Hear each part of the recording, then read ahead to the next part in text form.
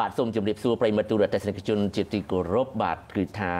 ពិភពលោកសប្តាហ៍នេះវិលជួបគ្នាទៀតហើយខ្ញុំបាទប៉ែនបូណាលោកសង់ហ្វ្រង់សូតាន់ហើយនឹងក្រុមការងារយើងទាំងអស់បាននាំយកប្រធានបទថ្មីមួយទៀតហើយនៅសប្តាហ៍នេះបាទយើងនឹងនិយាយអំពីការបោះឆ្នោតនៅប្រទេសថៃបាទដែលជាប្រទេសជិតខាងយើងនេះបាទដូចជាយើងដឹងទាំងអស់គ្នាចាប់តាំងពីរដ្ឋប្រហារយោធានៅឆ្នាំ2014មកប្រទេសថៃពេលនេះ បានរៀបចំការបោះឆ្នោតឡើងវិញបាទដូច្នេះយើងនឹងស្វែងយល់ពីស្ថានភាពបោះឆ្នោតហើយនឹងក៏ដូចជា ការធ្វើរដ្ឋប្រហារយោធាជាបន្តបន្ទាប់នៅក្នុងប្រទេសថៃចង់ដឹងថាតើក្រោយការបោះឆ្នោតលើកនេះថៃនឹងស្គាល់ស្ថិរភាពនយោបាយពិតប្រាកដដែរឬទេបាទប្រិមត្តទូទស្សនិកជនដូចជារៀងរាល់ដង ជាដំបូងខ្ញុំសូមសង្ខេបព្រឹត្តិការណ៍សំខាន់សំខាន់បន្តិចចុងក្រោយក្នុងការរៀបចំបោះឆ្នោតនៅឯប្រទេសថៃបាទ បាទដូចជាយើងបានដឹងថាព្រះមហាក្សត្រថៃប្របាទមហាវិជ្ជរាលង្កនបានឡាយប្រហោះលេខាកាលពីថ្ងៃទី23ខែមករា2019កន្លងទៅនេះលើបរិជ្ជក្រិតមួយដើម្បីកំណត់ជាផ្លូវការឲ្យមានការរៀបចំបោះឆ្នោតរដ្ឋសភាឡើងវិញបាទក្រោយអំពីរដ្ឋប្រហារយោធាកាលពីឆ្នាំ2014មក ក៏ប៉ុន្តែការបោះឆ្នោតនេះនឹងមិនប្រព្រឹត្តទៅនៅថ្ងៃ24កុម្ភៈដោយការគ្រោងទុកកាលពីមុនទេតែត្រូវលើកពេលទៅធ្វើនៅថ្ងៃ24ខែមិនិនាវិញបាទហើយតាំងពីរដ្ឋប្រហារយោធាទម្លាក់រដ្ឋាភិបាលរបស់លោកស្រីយីងឡាក់ស៊ីណាវ៉ាត្រាមកពីគណៈបកភឿថៃហើយនឹងត្រូវជាប្អូនស្រីរបស់លោកថាក់ស៊ីនចេញពីតំណែងកាលពីខែឧសភាឆ្នាំ2014មក ប្រទេសថៃនឹងស្ថិតក្រោមការគ្រប់គ្រងដោយរបបយោធាដែលមានលោកប្រយុទ្ធច័ន្ទអូចាជានាយករដ្ឋមន្ត្រីហើយការចូលកាន់អំណាចរបស់របបយោធាបានបិទបញ្ចប់ភាពចលាចលនឹងការតវ៉ានយោបាយអស់រយៈពេលជាច្រើនខែហើយក៏អាចស្ដារឡើងវិញនៅស្ថិរភាពនៃប្រទេសមួយនេះបើទោះបីជាមានការរិះគន់ខ្លាំងពីប្រជាពលរដ្ឋក៏ដូចជាពីសហគមន៍អន្តរជាតិក៏ដោយរបបយោធាបាន ចាប់ឃុំខ្លួនមនុស្សទាំងឡាយណាដែលមិនគោរពតាមការដឹកនាំរបស់ខ្លួនហើយរបបយោធាថៃនឹងក៏ធ្លាប់បានសន្យាថានឹងរៀបចំការបោះឆ្នោតទៅតាមការកំណត់របស់រដ្ឋធម្មនុញ្ញមុនដំបូងឡើយការបោះឆ្នោតគ្រោងធ្វើថ្ងៃ24ខែកុម្ភៈឆ្នាំ2019នេះក៏ប៉ុន្តែស្រាប់តែការបរិច្ឆេទនេះលើកទៅធ្វើនៅថ្ងៃ24ខែមិនិនាក្រោយនេះវិញ យុទ្ធនាការរកសម្លេងឆ្នោតនៅប្រទេសថៃនឹងបានចាប់ផ្ដើមធ្វើឡើងក្រោយពីចូលឆ្នាំសកលឆ្នាំ2019នេះហើយប្រតិក្រិតស្ដីពីការបោះឆ្នោតជ្រើសតាំងតំណាងរាស្ត្របានចេញនៅថ្ងៃទី2ខែមករា ដើម្បីបើកឲ្យគណៈបកនយោបាយទាំងអស់អាចចាប់ផ្ដើមធ្វើយុទ្ធនាការឃោសនារកសម្លេងឆ្នោតនៅទូទាំងប្រទេសបាទ គណៈកម្មាធិការជាតិរៀបចំការបោះឆ្នោតប្រទេសថៃនឹងបានចាប់ផ្ដើមបើកទទួលពាក្យបេក្ខភាពប្រកួតប្រជែងដែលយកអាសនៈនៅក្នុងរដ្ឋសភា ចាប់ពីថ្ងៃទី14ដល់ថ្ងៃ18ខែមករារីឯការចុះឈ្មោះបេក្ខជននាយករដ្ឋមន្ត្រីមកពីគណៈបកនយោបាយនីមួយៗនឹងគឺធ្វើឡើងនៅថ្ងៃ25មករាដដែលបាទនៅថ្ងៃទី8កុម្ភៈនាយករដ្ឋមន្ត្រីប្រយុទ្ធច័ន្ទអូចា បានប្រកាសថាលោកនឹងចូលរួមប្រកួតប្រជែងក្នុងការបោះឆ្នោតសកល នៅថ្ងៃ24មិនិនាខាងមុខនេះក្នុងនាមជាបេក្ខជននាយករដ្ឋមន្ត្រីនៃគណៈបកផាឡាងប្រជារដ្ឋដែលគ្រប់គ្រងរបបយោធាហើយនៅថ្ងៃ8កុម្ភៈដដែលនោះគណៈបកថៃរក្សាឆាតដែលជាគណៈបកសម្ព័ន្ធមិត្តរបស់លោកថាក់ស៊ីនបានប្រកាសបេក្ខភាពនាយករដ្ឋមន្ត្រីរបស់ព្រះអង្គម្ចាស់ក្សត្រីឧបុនរ៉ាត់បាទដែលជាបុត្រីច្បងរបស់អតីតព្រះមហាក្សត្រថៃភូមិបុលអឌុលយ៉ាដេសតែក្រោយមកក្រោយពីមានប្រតិកម្មខ្លាំងខ្លាំងពីព្រះមហាក្សត្របច្ចុប្បន្នព្រះបាទមហាវជ្រាលង្កនមកព្រះអង្គម្ចាស់ក្សត្រីឧបុនរ័ត្ននឹងក៏បានសម្រេចដកបច្ចុប្បន្នឈ្មោះជានាយករដ្ឋមន្ត្រីវិញបាទហើយនៅថ្ងៃទី13ខែកុម្ភៈគណៈកម្មាធិការជាតិរៀបចំការបោះឆ្នោតបានបញ្ជូនពាក្យបណ្ដឹងទៅកាន់ក្រមប្រឹក្សាធម្មនុញ្ញដើម្បីសុំរំលាយគណៈបកថៃរសាឆាត ដោយចោទថាការតែងតាំងព្រះអង្គម្ចាស់ក្សត្រីឧបនរ័ត្នជាបេក្ខជននាយករដ្ឋមន្ត្រីនឹងគឺជាទង្វើដែលផ្ទុយនឹងរដ្ឋធម្មនុញ្ញផងហើយខុសពីទំនៀមទម្លាប់របស់ប្រទេសថៃផង ពីព្រោះនៅប្រទេសថៃនឹងគឺថាព្រះញាតិវង្សានុវង្សមិនអាចធ្វើនយោបាយបានទេបាទគូបញ្ជាក់ផងដែរថាសម្រាប់ការបោះឆ្នោតដែលនឹងគ្រោងធ្វើនៅថ្ងៃ24មិនិនាខាងមុខនេះ មាន45គណៈបកនយោបាយដែលត្រូវចូលរួមប្រកួតប្រជែងហើយដែលត្រូវគណៈកម្មាធិការជាតិរៀបចំការបោះឆ្នោតអនុម័តទទួលយកក្នុងនោះក៏មានលោកប្រយុទ្ធច័ន្ទអូចាដែលជានាយករដ្ឋមន្ត្រីបច្ចុប្បន្ននឹងជាបេក្ខជនប្រកួតប្រជែងផងដែរបាទ ប្រិមត្តទូទស្សនិកជនបាទនេះគឺជាការសង្ខេបព្រឹត្តិការណ៍ថ្មីថ្មីដែលកើតឡើងនៅក្នុងប្រទេសថៃហើយនៅវគ្គក្រោយលោកហ្សង់ហ្វ្រង់សតាន់នឹងឆ្លើយតបសំណួរប្រិមិត្តទូរទស្សនិកជនពាក់ព័ន្ធទៅនឹងការបោះឆ្នោតនៅក្នុងប្រទេសថៃបាទនៅពេលនេះសូមសម្រាប់បន្តិចសិនបាទ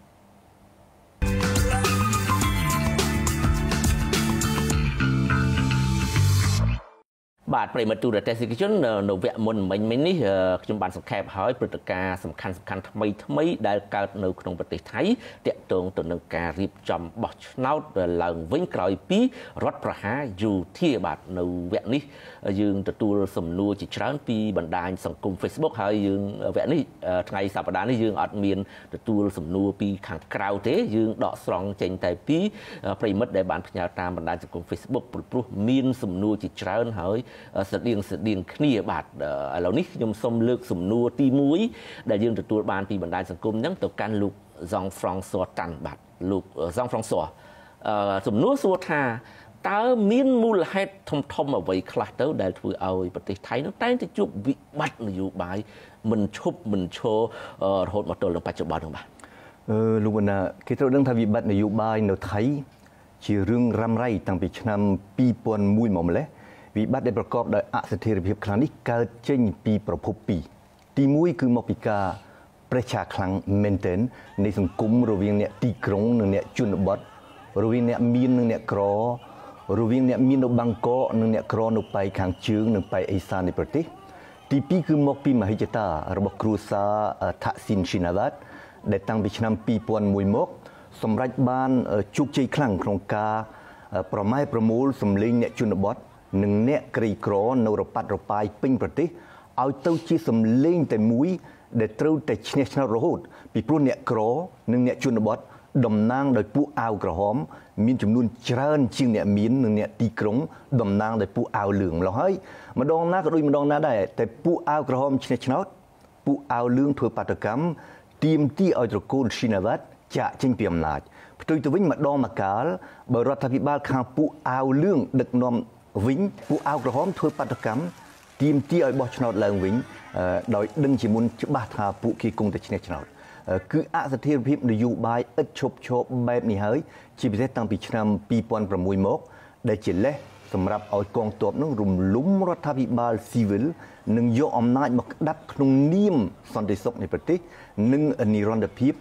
នៃលទ្ធិរាជានិយមបាទអរគុណលោកសងហ្វ្រង់សូតានដែលបានឆ្លើយនឹងសំណួរប្រិមិត្តទូតនិកជនតាមបណ្ដាញសង្គមសំណួរជាបន្តទៀតនេះដែលខ្ញុំសូមសង្ខេបទៅគឺថាមានសំណួរច្រើនដែរប្រហាក់ប្រហែលគ្នា គេសួរថាបើនិយាយពីប្រទេសថៃវិបត្តិនយោបាយនោះគឺរដ្ឋបហាយោធា ជារឿងមួយដែលកើតជាញឹកញាប់ជាប្រពៃណីទៅហើយគេចង់ដឹងថាលោកហ្សង់ហ្វ្រង់សតាន់តាហេតអីបានជាយោធាចូលចិត្តធ្វើរដ្ឋប្រហារនៅប្រទេសថៃរដ្ឋប្រហារទម្លាក់រដ្ឋាភិបាលដែលកើតចេញពីការបោះឆ្នោតស្របច្បាប់អញ្ចឹងបាទថៃជាប្រទេសជើងឯកលោកបណ្ណាបានលើកឡើងមិញខាងរដ្ឋប្រហារមានរដ្ឋប្រហារ20ដងហើយតាំងពីឆ្នាំ1932មក ហើយអន្តរាគមពីសំណាក់កងទ័ពក្នុងបញ្ហានយោបាយនេះតាមធម្មតាគ្មានការបង្ហូរឈាមឡើយ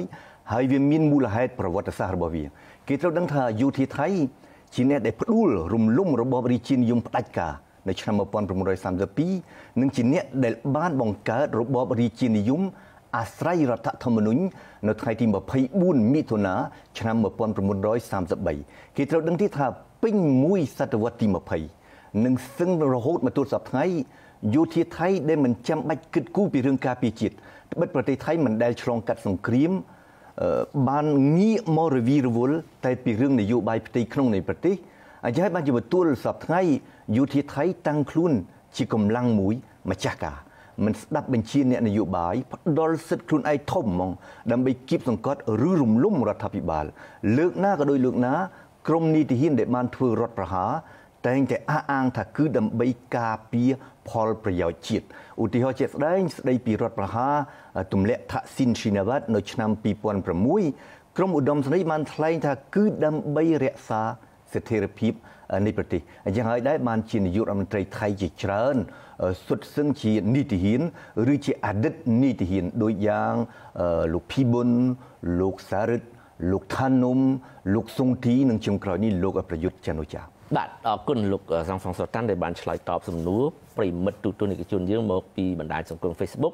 នៅមានសំណួរចុងក្រោយមួយទៀតលោកសង្សងសតាន់ដែលយើងទទួលបានពីបណ្ដាញសង្គមដែរហើយជាទូទៅប្រជាពលរដ្ឋជាទូទៅតែងតែសួរអញ្ចឹងណា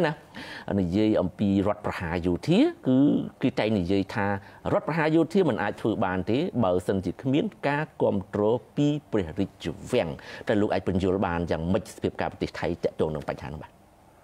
ឥទ្ធិពលរបស់ព្រះមហាក្សត្រថៃធំលើអំណាចរបស់ពួកយោធាទៅទៀតគឺជាឥទ្ធិពលមិនមែនជាអំណាចទេឧទាហរណ៍ទោះជាមិនមានចែងក្នុងរដ្ឋធម្មនុញ្ញក្តីតែទូនីតិចាំបាច់មួយរបស់ព្រះមហាក្សត្រថៃគឺការដោះស្រាយវិបត្តិធ្ងន់ធ្ងរនិងការផ្សះផ្សាជាតិហើយទូនីតិនេះរបស់ព្រះមហាក្សត្រត្រូវយោធារដ្ឋាភិបាល និងប្រជារាស្ត្រថៃទូទៅទទួលស្គាល់ជាក់ស្ដែងនៅឆ្នាំ1973 ក្រោយពីរដ្ឋប្រហារបានវិបង្ក្រាបក្នុងស្រុកឈៀមចលនាបាតកម្មរបស់និស្សិតឧត្តមសេនីយ៍ថានុំត្រូវបង្ខំចិត្តលាលែងចេញពីមុខតំណែងនាយករដ្ឋមន្ត្រីនិងត្រូវបង្ខំចិត្តនិរទេសទៅរស់នៅក្រៅប្រទេសតាមសំណុំពររបស់អតីតព្រះមហាក្សត្រព្រះចៅភូមិបុលដែលឡែកបើនិយាយពីអំណាចវិញព្រះមហាក្សត្រថៃមានសិទ្ធិប្រើអំណាចវេតូ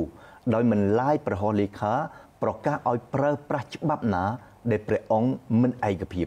ហើយជាទូទៅសភាតែងតែបោះបង់ចោលជានិច្ចនឹងជាស្ថាពរច្បាប់ដែលត្រូវបានជំទាស់ដោយព្រះមហាក្សត្រមកហើយជាទូទៅក្រុមអ្នកសង្កេតការយល់ឃើញថាបើសិនជាគ្មានការគ្រប់គ្រងពីព្រះបរមរាជវាំងទេរដ្ឋប្រហារយោធាបន្តបន្ទាប់គ្នាតាំងពីឆ្នាំ1950មកប្រហែលជាមិនអាចទទួលជោគជ័យងាយងាយចឹងបានទេ ជាស្ដែងនៅឆ្នាំ1981រដ្ឋប្រហារប្រឆាំងនឹងឧត្តមសេនីយ៍ព្រែម ដែលគ្មានការគ្រប់គ្រងពីសំណាក់ព្រះចៅភូមិបុលបានទទួលបរាជ័យស្មោះបាទអរគុណច្រើនលោកសងហ្វ្រង់សតាន់ចំពោះការបកស្រាយសំណួរយើងនៅមានសំណួរច្រើនទៀតបាទប្រិមត្តទូទនិកជនក៏ប៉ុន្តែដោយសារតែសំណួរស្តៀងស្តៀងគ្នាហើយដោយសារទី2ទៀតយើង អត់មានម៉ោងគ្រប់គ្រាន់សម្រាប់ឆ្លើយគ្រប់សំណួរបាទអញ្ចឹងរងចាំឱកាសក្រោយបាទនៅវគ្គក្រោយលោកសងហ្វ្រង់សតាន់នឹងបន្តវិភាគស៊ីជម្រៅអំពីបញ្ហានយោបាយនៅក្នុងប្រទេសថៃបាទនៅពេលនេះខ្ញុំសូមសម្រាប់បន្តិចសិនបាទ